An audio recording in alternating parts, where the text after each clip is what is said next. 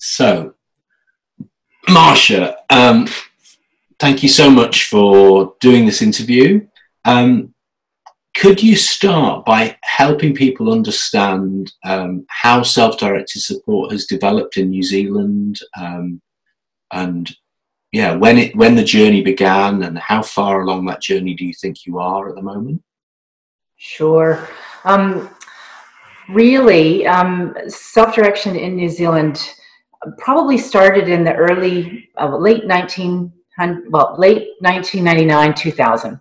Um, uh, and, and basically, uh, what was happening in New Zealand was it was running under the radar. So we have a system where disabled people get assessed by an organization that's an agent of the government and they are gatekeepers for the money. They're called the Needs Assessment and Service Coordination Organizations. And there's about 15 of them around the country um, that, and it started just in disability and it's, and it's largely still just in disability. But in the early 2000s, um, people were increasingly dissatisfied with traditional methods of support and traditional um, providers. And primarily, um, this was the under 65 uh, group with, with of people with disabilities. So lots of mums and dads and families, and particularly those mother bears who uh, wanted to better for their children. Um, and basically, they would go to the NASC organization and say, I can do this a lot better. Give me the money and I can do it better. And those were those really uh, vocal and strong advocates for their children. And it was easier for the NASCs just to say, okay, well, here's the money, you go and do it, but shh, don't tell anyone, you know. Um, and so that was that was happening increasingly across the country.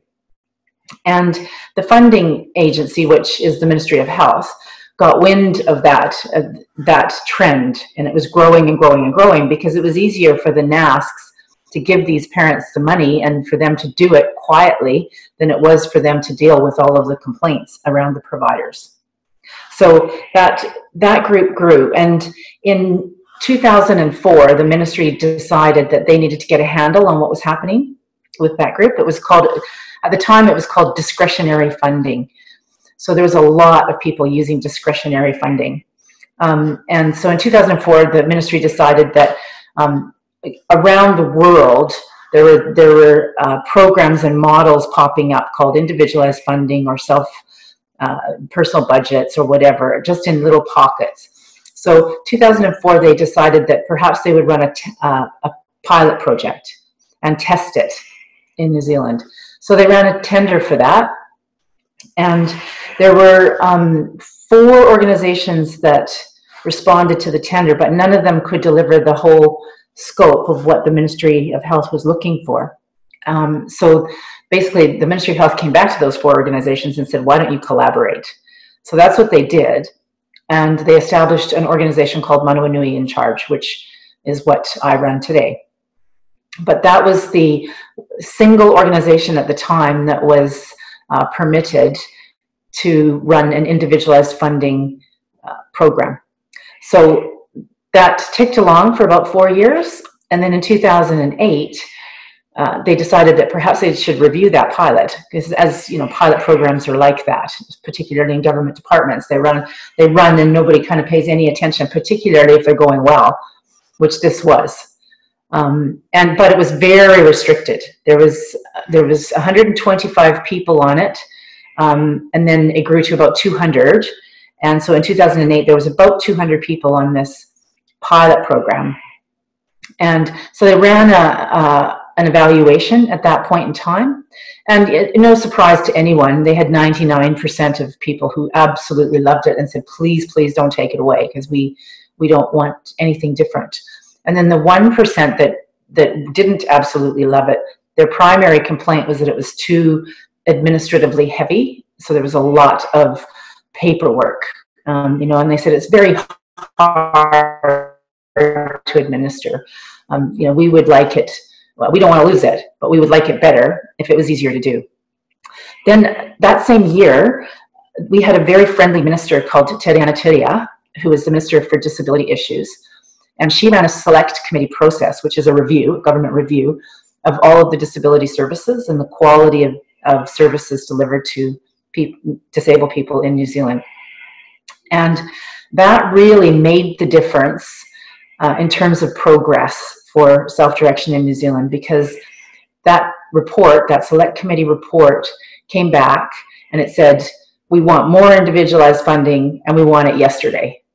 So she could see the value that it was delivering to people and she could see the outcomes. And also, because she was Maori, she recognized that this was very culturally appropriate because it was defined by the people who, who were using it, which is the nature of self direction, of course. So um, that gave the program skates, really. Um, it gave it the it gave uh, I was at the Ministry of Health at the time, and it gave us the chance to expand it out quickly across the nation. So it was there was really just little pockets of it happening under the pilot project, and that particular report allowed us to expand it out across the nation. So they they ran another process to add. Um, what they're, they're called individualized funding hosts, which is what Manawanui is. And I can talk about that later. Um, but but the the it was called an expression of interest, and we collected a whole bunch of people, a whole bunch of providers who we thought could act as a host for uh, people who wanted to use individualized funding, um, and that just grew and grew and grew. And in 2011, when um, I moved from the Ministry of Health to Manawanui at that point in time, there was 700 people on the program then. And now uh, we have 4,000 just with Manawanui and probably 5,000 across the nation. That's, that that 5,000 is a guess, but um, there's a lot. And it continues to grow. You know, we grow at about between 10 and 15% each year uh, in terms of the amount of people that are taking it up. So it's very, very popular. And even when people uh, use even when people use the program and find themselves struggling with either budget management or being an employer or any of the uh, administrative functions, they still don't want to go back to the way that they had to function before, where they had uh, traditional home care provider who may or may not turn up. You a different different um, support worker each day quality is, you know, um, not consistent, and, um, and and a continual string of frustrations from from people. They even when people find individualized funding as it as it exists in New Zealand difficult, they still don't want to go back. So it's it, it has been very successful in terms of its growth. And now um, we're moving to, because of that success of individualized funding, um, the government has committed to what they're calling system transformation. And what they mean by that is that they, they would like individualized funding to become a default position instead of just that one little choice that you could take if you were capable of managing a budget. So it started out uh, with a really restrictive little group that were eligible uh, then, then as the outcomes were really obvious in terms of quality and people's lives just changed immensely because all of a sudden they could get out and get jobs and participate in the community and live live an ordinary life like we all have the choice to do every day. Um, but that that the success of individualized funding just illustrated uh, how good a self-directed approach is for people and now the government has committed to system transformation where self direction is seen as a default position. That's, I mean, that's great progress in terms of a commitment to it. The, the big challenges are how to implement that. Um, and I guess what I can say about that evolution is that in 2012, uh, they, they kind of did it in stages. Um, and the stages were various demonstration projects. So in 2012, they introduced what was called uh, enhanced individualized funding, and that was in a particular geographic area in New Zealand called the Bay of Plenty. So it was very limited uh, geographically, and and it didn't go very well because the Ministry of Health um, became very nervous about what people may or may not purchase using their disability support funding.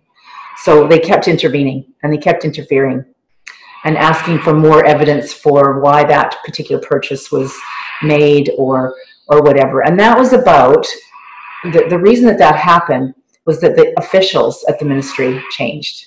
And so their commitment to it changed. And, and I think that, yeah, that's a, that's a risk. Um, so they started with enhanced individualized funding in the Bay of Plenty. Then, then there was a group that got together and wrote a paper to cabinet, to the government, um, called Enabling Good Lives. And that particular paper was based on eight principles. So I'm not going to be able to recite them all, but it was it's it's um, self-determination, mainstream first, um, mana enhancing, relationship building. Uh, what am I on now? Number five. um, easy to use, uh, ordinary life outcomes, person centered, and beginning early. Got them all. Um, so those particular, those eight principles underpinned two more demonstration projects, one in Christchurch, so not, again, geographically limited, um, uh, and that also had target groups. So it was people, young people leaving school were eligible for that particular program. And that was used to demonstrate uh, the, you know, to test and demonstrate how self-direction and or individualized funding could be um, broadened in terms of the scope and, and scaled. Um, and then there was a second one that happened in the Waikato, which is in central New Zealand. Uh, again, geographically limited, and there was three target groups there. Uh, young people, Maori, and uh, people who didn't have access, who didn't otherwise have access, I, I think. I can't remember the exact groups. Anyway, um, all of those demonstration projects, enhanced individualized funding and the two enabling good lives programs also had uh, a secondary and complementary component uh, that was loosely based around local area coordination. So the idea was that a local area coordinator um, or some iteration of that, some version of that, uh, would connect the person to their community first and natural supports on the basis that that would reduce the amount of funded formal supports that that person would need. So all of them had that component. And now, because they, what they have done is looked at all of those demonstration projects and thought, we can, we've learned from that, we've learned from that, and we've learned from that. Let's uh, get some convergence here, and we'll do another one, another demonstration project in the Manawatu, which is also central uh, North Island of New Zealand. And that's, but that's called Mana Whaikaha. And that one is aimed at saying if we were to give people complete flexibility with their budget and allow them to determine what their life should look like, um, that's what we want to achieve ultimately. So they're taking um, the concept of individualized funding, expanding it out to a, a much more self-directed and person-centered approach based on those principles that I just went through and saying this is the one that we want to transform the system. So we it started out being called system transformation. Now it's called it's, they've given it a name called Mana Whaikaha. And that's being tested in the Manawatu with the intention of rolling it out right across the entire nation. Um, and the it, that is really, really positive because um, it is a it is an ultimate commitment by government to um, utilize cross government departmental funds. So different ministries combining money um, to give the person a, to give people a personal budget that they can then use to purchase services if they want. They can purchase uh, services from a host provider like us, or they can do it completely on their own. And um, yeah, it's giving people a lot more options. So I think that in New Zealand, we're really progressing in terms of uh, the commitment to self-direction, and it is at various stages. I think that one of the most challenging things is that it's in little, the progress is in little po- geographical pockets in New Zealand, and there's still parts of New Zealand that, that have the old traditional individualized funding approach. So I'm, so, Marsha, does this um, give us a little bit more sense of the scope of this in terms of you've mentioned the numbers, but the variety of people um, whose needs can be met through this approach and the and and the current flexibility in how people can use their funds. Okay, so that's still that's still, in my opinion, too limited. Um, that not probably 99% of people who are using individualized funding in New Zealand are under the under 65s with a disability, right? There's small pockets of um, different funders who are saying this actually works. So we have we also have 13 DHBs across. The, Sorry, we have 20 DHBs across the country. 13 of them have said mm, we should try this. It's really working well for that disability population. So we're getting samples of one and two and three. You know, um, so we've aged care is something there. People are going, mm, you know, people are still. When I say people, funders, the people with the money um, are still very risk averse around that. They, they have an idea that that uh, aged care um, is is too is too risky because those people are too frail, which is nonsense actually. um, and there's also um, uh, a little bit going on with our accident uh, with our ACC. Um, which is for an a global, um, sorry, national insurance program for people who have accidents. Um, and that's completely separate from disability. So that they're they're venturing into it as well. Um, and uh, mental health, people with mental health issues, that's that's starting with samples of one and two, you know, in, in little areas of New Zealand as well. But there's huge potential there. You know, there's a lot of international evidence that shows that self-direction will work in mental health. So that's certainly an area that we've been uh, looking at. Um, but like I said, the biggest the biggest group is still the disability group under 65s. We have Manawanui has 60% of our people that are under 30. So you know, it's a lot of young people and a lot of mums and dads and families. Yeah. Um, so in, in, terms of the disability population, we, we run about 60% in, intellectual disability uh, and the rest physical, uh, and, and there's all the whole range of, of uh, disability label.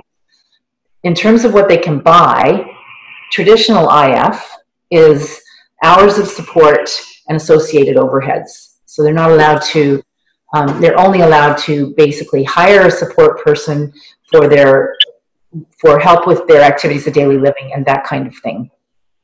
People get very creative with that though. And you know, it does enable them to go into the community and, like I said, get a job um, because they structure everything themselves and they and it's all culturally appropriate because it's culturally specific and um, and it's and it's fit for purpose because they do it themselves. Um, the, the, so that's traditional IF uh, is just hours of support and associated overheads, and that's it. Um, the demonstration projects try to expand out those purchasing guidelines. The, you know the permission to purchase.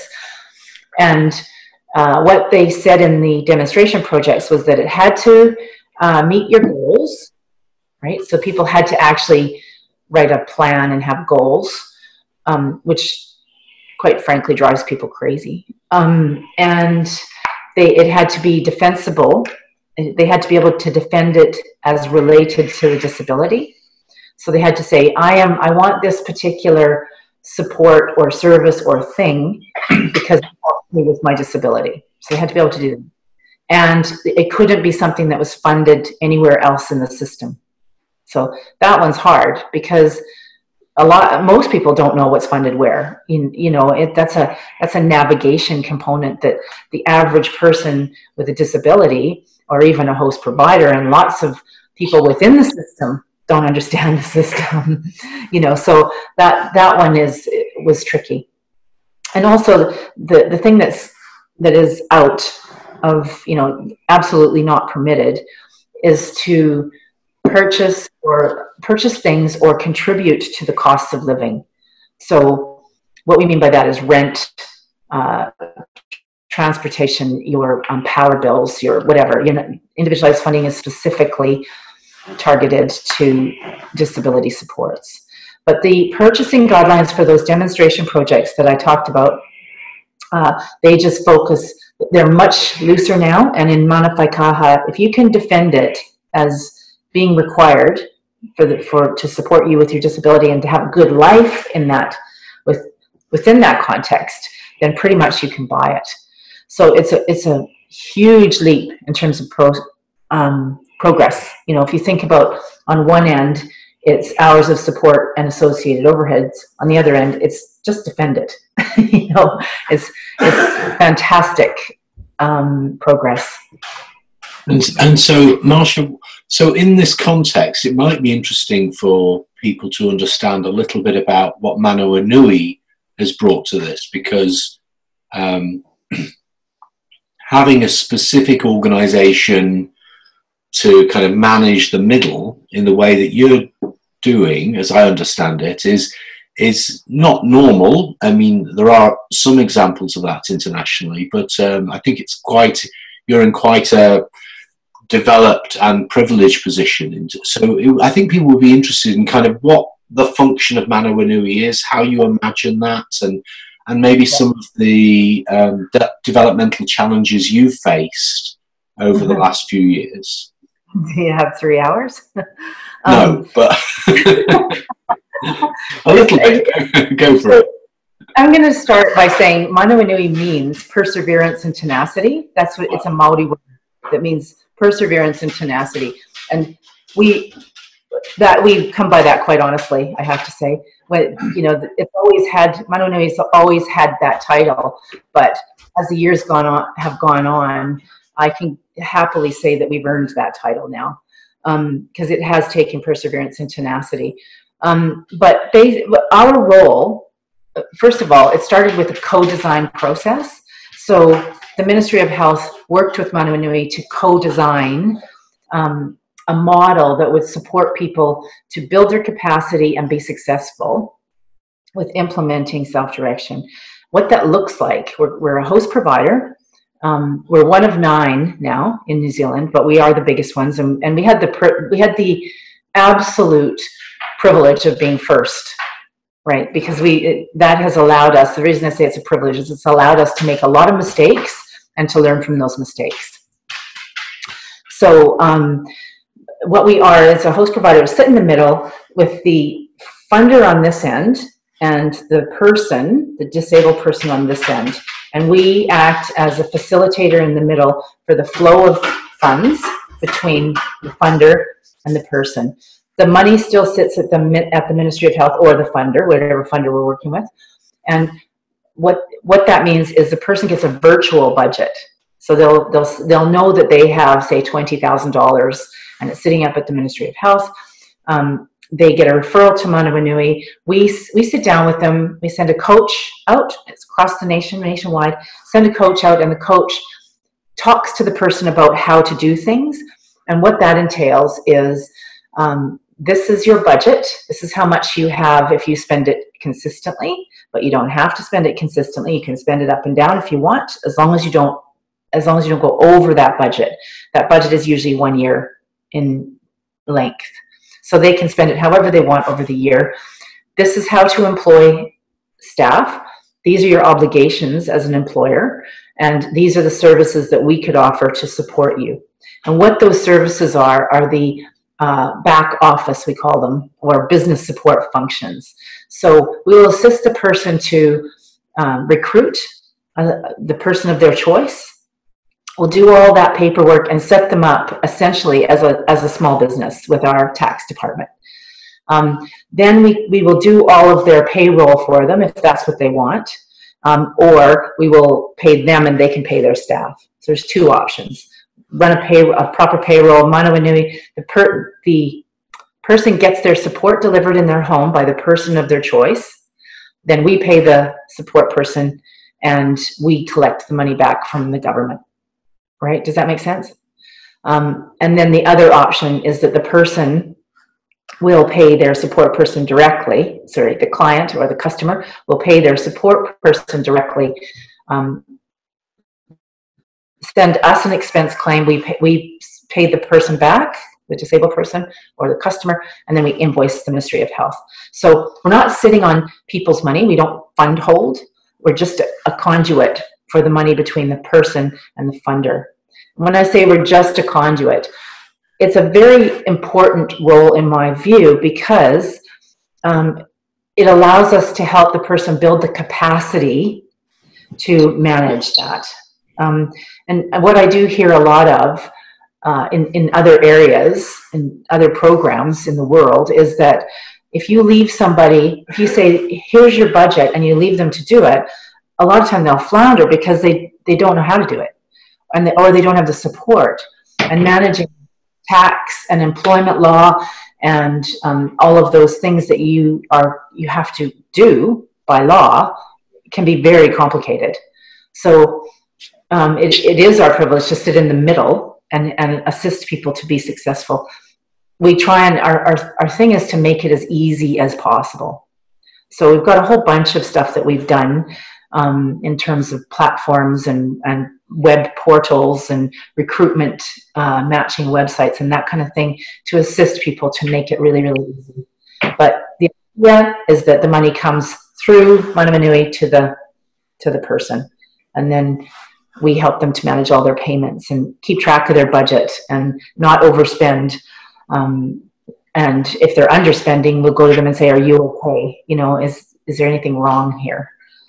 And so, Marsha, one of the one of the things in the European experience we've been talking about, drawing. I mean, there have been very many positive developments in Europe, but um, also there's still a long way to go. And so we've been trying to explore why, given that versions of self-directed support began 50 years ago, if you go back to California as possibly the beginning of this, mm-hmm. Um, you know, why has it taken 50 years for us to get to a place where, well, we're nowhere near 100%, are we? I mean, we're, we're oh. you know, at best, I think, you know, it's a, it's 10, 15, 20% kind of, and, and, and still slow progress. So uh, it's interesting, I think, for people to think about uh, what are the factors that slow things down? What are the strategies that you can do to overcome resistance? You talked a little bit about, you know, what happens when the civil servants change, for instance, but yes. maybe you could reflect a little bit on on the battle for change in New Zealand. Yeah. yeah. Okay. Um, the, the, the perseverance and tenacity that I spoke of um, is fundamentally about that interface uh, between government and, well, for us, it was us as the host provider, but ultimately, it's that interface between the government and the disabled person. Um, because it's very difficult for governments to to relinquish control. You know, this is all about power and control. It's about saying it's about shifting the paradigm and saying that we're we're shifting the power from the system and the provider and the and the government departments back to the person. That's a very uncomfortable place for governments to sit. You know, particularly when it's they have stewardship over public funds, tax money, right? They tax the populace and then they have to protect and account for that. And it's very difficult for them to say, here, Simon, here's $20,000, use it how you want. You know, that, that is an uncomfortable place for them to be. And so it is about, fundamentally, it's about risk aversion. You know, and, and government officials, uh, you know, trying to cover off every possible risk, right? So there's, and when I say that, I mean um, financial risk, but also that whole duty of care idea, you know, that uh, you know it's the paternalistic approach that that absolutely pervades. It, it is infiltrated i don't know I, I don't know an easier word but it's everywhere. It's embedded in in health and disability we know best right? And that we also have to make sure that you're safe. So how do we know that when you hire somebody you're going to be safe? How do we know that that person is going to be good for you you know? Um, and and so there's that tension too. There's quality of care and duty of care and financial risk in terms of the interface between governments and policymakers and a, and a disabled person or the person, any person who is getting um, uh, self-directed supports. So that's the first thing. The second thing is um, that, like you said, the change in um, officials. That's a, because there's always a political agenda, and when governments change, then the agenda changes, and you lose momentum, right? Um, the other really big component here, and I alluded to it earlier, is the idea of capacity building. Is that you you you know the success comes when uh, you know when people are supported to do this and when they're supported to learn because it's not it doesn't come easy you know perhaps if you run a, a business yourself and, you know and you have a disabled child it would be easier but not everybody has that competence you know and a lot of times these these families or these disabled people are are have never even held jobs right? So and and they happen and they're marginalized. So it's very difficult for them to just come up with the skills to do this you know? The capacity building part is critical i think to facilitating success. And that's that's what i think we've built over the years you know and and um, I can say that quite quite faithfully because when we first started individualized funding, and I have been involved pretty much since the genesis, um, since the start. When we first started, we limited it to people who were stable, um, lower need, uh, had were able to manage a budget, all of those things that so that so that everything could be done at an arm's length. You know that you didn't have to do much for these people. Now we've got a whole, we've got 4,000 people and, you know, people are joining because they're looking at somebody they know with a disability and going, I want what that person has. But they might not have any skills at all uh, in terms of managing that. And, you know, as far as we're concerned, self-direction is a human right. You know, it's everybody should have the right to say how they live their lives and who comes into their home and who sees them naked every day you know that's pretty pretty intense stuff you know and you, we, we think that that's a human right. So even if you don't have the skills you should be supported to build those skills so that you could be self-directed. That's that's the position. So capacity building needs to be embedded it needs to be in the system somewhere in order to make it successful in my opinion right? So you need political will, you need friendly officials and friendly politicians, you need a good policy background, you need capacity building. Uh, those are all of the things that we that we had to struggle to to get. And then the most important thing is is is a client base where you get momentum, right? So so and these are our customer base or how whatever you however you want to call our people. Um, the the stories you know, when you get some success stories about the transformational effect that self-direction has on people's lives, you get attention. And then you get more and more people wanting to do that.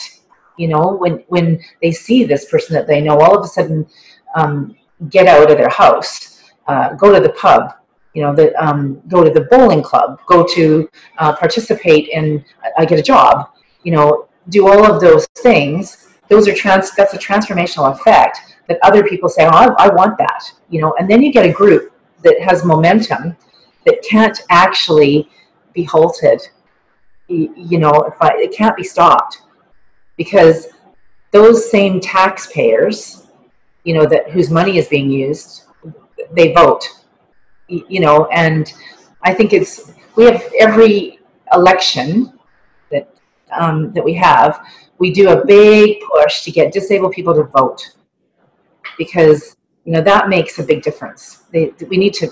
I, I guess that's the other thing is you need to mobilize people as much as possible politically.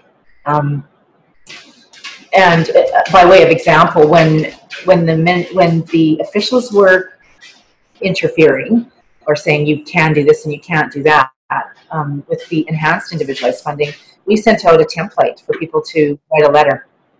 You know, we said, here's, here's how to write a letter. Just fill in your, your, your stuff. You can add to it. You can do whatever you want, but this is how, how it would look. So we made it easy for them to, to mobilize.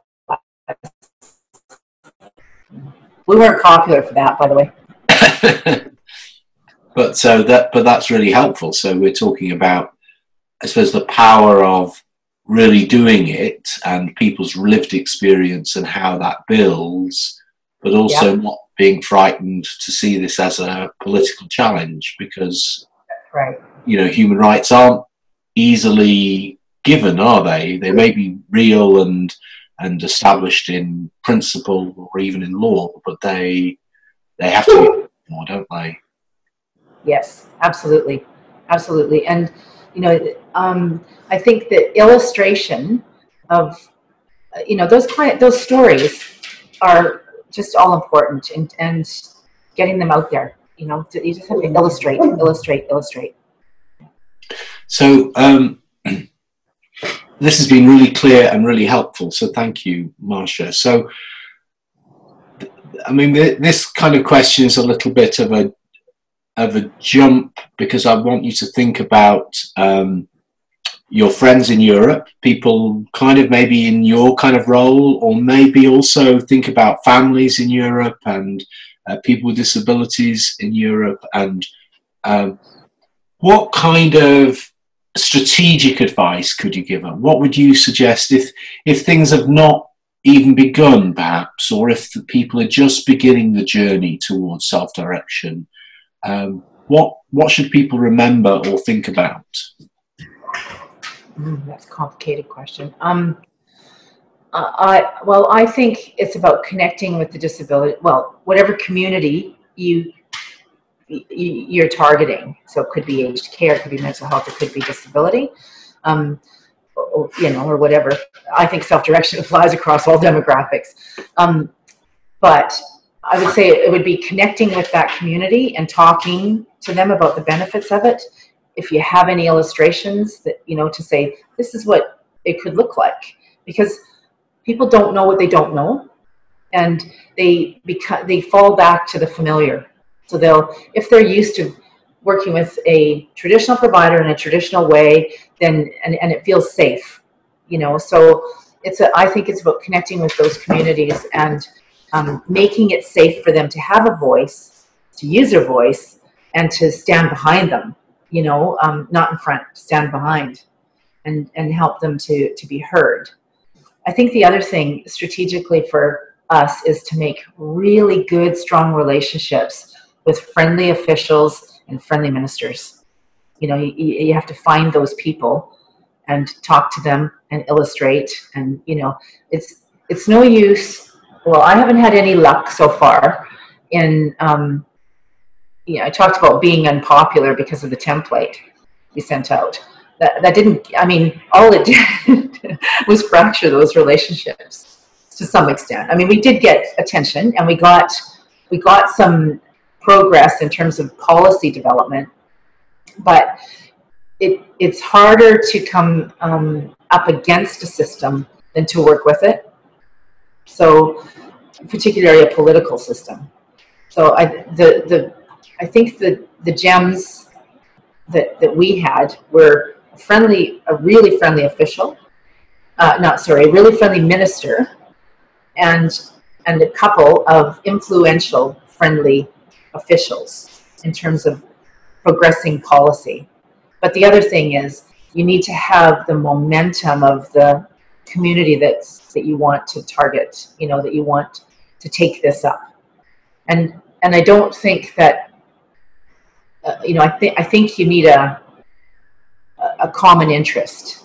So, for example, uh, you know, with, with us, a good example is the Australian Every Voice Counts, Every Australian Counts campaign. That was, that's a really good example of getting people behind a, a cause, you know, and um, yeah, in, in New Zealand, it was about talking to those mums, those squeaky wheels, those challenging people, you know, and saying there is a better way. How, how can we make this happen? And then having those conversations with the friendly officials and the friendly minister and then having stories to say, see, this is what this is what the differences makes. Mm. It sounds a little bit like um, chemistry, Marsha, you're describing there, isn't it? A little, a little bit of advocacy, a little bit of um, bringing the right people that you need into the mix together, offering them a bit of a framework for what the positive change might look like, um, and uh, yeah, just pushing that, that natural chemistry, maybe. Yeah, and I think the other thing that's really, if you if you can, uh, two things: find the burning platform, you know, find the pain points, and usually for for a government and a policy, that's money, right? You know, and then the evidence to support that you can fix that pain point. And and you know now there's quite a bit of well, it's a growing evidence base um, in terms of the difference that self direction makes, you know, and um, pre- present the evidence and the and the um, demand from the from the client group, um, along with uh, you know the the solution. So, and, uh, so those things together, I think that that sell a sell something like this. Yes, I think sometimes I talk about the the bell curve. You actually need to operate at the two extremes of the bell curve. So there are people who who kind of desperate for this or doing it already under the radar or you, you know they're your yeah. primary advocates they they know exactly what this is about but then there's there's also the services that need to be shut down and where self-direction yeah. is is the answer you know so almost the kind of the really problematic bits of service where if if if we don't use self-direction actually people will just go through decades of converting something terrible into something slightly less terrible whereas actually yeah. sometimes you can short circuit that by saying let's go straight to great let's get get you yeah. out of this institution or let's get you out of this crisis um, and uh, I mean, and, and that that requires, I think, sometimes a different. Um, that you definitely need to address some of those risk issues because that's where lots of people create fear. But I agree with Absolutely. you. Um, it's, it's about finding the points where people are willing to change and and making it easy. Yeah. You know, so ultimately, what you want to do is take away the pain for the funder, like there's no risk here. We've got systems that manage the risk, um, you know, or we can design systems that manage the risk, um, and we can we can make it cost effective. And there's a lot of evidence for that. That it's at worst cost neutral, but at best it's cost effective. And then take away the pain for the person by making for the disabled person or, or aged care or mental health by making it easy to implement for them so that they succeed. You know. Yeah. So, Mar- Marsha, do you have? So, you, I think you've done a great job of, of really giving us a sense of the journey that New Zealand's been on, and, and uh, so just do you have any last thoughts really that you just want to share? Um, could be anything. Well, I mean, I guess you know the whole human rights issue is something that we can't lose as a as a movement, and that self determination, self direction underpins citizenship. That people cannot be a citizen unless they're self-directed, unless they have choice and power, and those those things entail, um, you know, control over money. It, you, you can't. So much of the time, I get what I'm trying to get to is authenticity here, right? So much of the time, a system will say, yes, we give you choice, control, and flexibility, and it's self-directed because you get to say whether you go to the movies or skating or to the beach. But, you know, instead of saying, actually, how do you want your life to look? And here is the money you have. It, that's a critical point. Um, you know, unless somebody knows and has control over that, they're not self-directed. You know, and, and there's so many I have seen so many providers who will say, who will use the rhetoric, but not use the reality. And the reality is, give the power back. Give, you know, and the power is about choice and money and control. You know, all of those, all of those concepts, uh, Simon, that contribute to people being true citizens. So I guess my, my last thoughts are we need to be authentic about this. We need to be brave. And, um, and, and, and shift power and, and, and absolutely um, commit to giving it back in an authentic way. Marsha, thank you very much. That was really helpful. I'm sure lots of people get a lot out of that. I'm going to stop recording oh. now.